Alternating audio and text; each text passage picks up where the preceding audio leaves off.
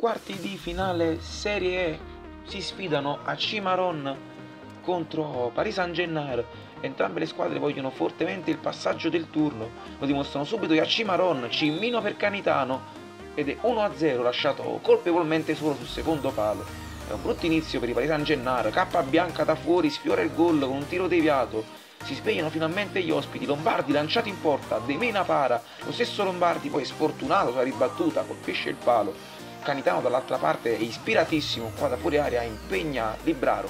Ancora Lombardi, lanciato in porta, salto un uomo, De Mena attentissimo, ma il miracolo il portiere lo fa. L'azione successiva, Lombardi lanciato in porta, De Mena para e questo porta due minuti dopo alla grandissima azione di Canitano. Supera tutti, salta il portiere, deposita in porta per il gol del 2-0 che mette in discesa dopo 10 minuti la partita per la Cimaron potrebbero riaprire PSG De Mena regala la palla a Marino che però conclude clamorosamente al lato di là Canitano per Cimmino. Benissimo Libraro De Mena si fa perdonare con un grandissimo lancio che Canitano mette giù. Superano fortunosamente ma conclude al lato. I due davanti si trovano benissimo. Canitano per Cimmino para Libraro Marino poi impegna così De Mena. E sul calcio d'angolo conseguente Lombardi tira di testa fuori ma come ho detto quei due davanti fanno paura Cimmino per Canitano questa volta ed è 3-0 tripletta personale per il numero 9 degli Acci Maroni. La partita sembra chiusa ma Benucci non ci sta qui, grande pallone per Dacunto che però poteva giocarsela diversamente. Dall'altro lato Canitano nasconde la palla a Sepe, attentissimo però Libraro.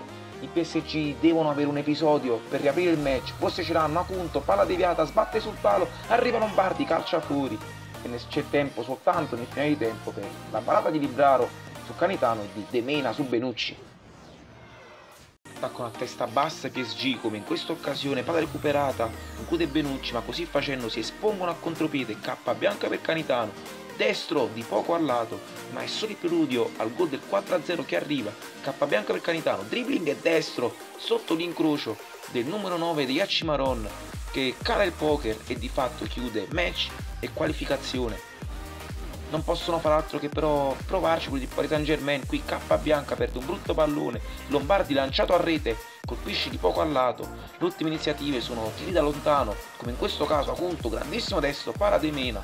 Altrettanto lodevole l'iniziativa di Benucci grandissimo dribbling conclusione però sfortunata da rivedere e riapprezzare la giocata del numero 7 gli ultimi scampoli di partita vedono da un lato appunto cercare la gela del gol prima col sinistro e poi sempre da fuori, stavolta col destro, dall'alto a provarci è K bianca che qui recupera un pallone ma conclude sul palo, poi lui stesso batte questo calcio di punizione parato da Libraro. Siamo con tutti i ragazzi degli Acci Maron con Canitano migliore in campo, qualificazione ottenuta. Chi vuole parlare? Il capitano, commenti su questa partita? Su come avete giocato? Sì, sì. Vabbè, è stata una grande partita. Oh, grande, grande! E abbiamo portato il risultato a casa. Olè! Credete nella vittoria finale adesso? Sì, sì, sì, speriamo. È un sicuramente vincono. Non ho capito? Eh, Ci sta qualche squadra che vorreste evitare oppure vi ritenete... No, non, teniamo... non avete paura di nessuno? Battono tutti, ne battono tutti. Nettamente, nettamente.